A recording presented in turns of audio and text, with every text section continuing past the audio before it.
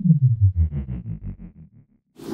La presidenta municipal de Otompe Blanco, Jensuni Martínez Hernández, mantiene recorridos por distintos puntos de Chetumal para supervisar los trabajos que se hacen en cuanto a mantenimiento y atención de la ciudad capital, especialmente en las acciones preventivas en esta temporada de lluvias y ciclones tropicales. La alcaldesa capitalina informó que se han redoblado esfuerzos con el apoyo de más de 260 elementos de protección civil, bomberos, servicios públicos, policía municipal, desarrollo urbano y otras áreas administrativas del ayuntamiento. El personal ha sido desplegado en brigadas de recoja de basura pode y recolección de residuos verdes, atención de luminarias, bacheo, desasolve de alcantarillas y demás trabajos que en esta temporada hemos intensificado como parte de las medidas preventivas, señaló Jensuni Martínez. De igual manera, recordó que mantiene estrecha coordinación con autoridades federales y estatales, trabajando de la mano de la gobernadora Mara Lezama Espinosa, quien siempre está en territorio 24-7 para que Chetumal y Otompe Blanco brillen con mucha más fuerza. Para Notivisión, Leonardo Hernández.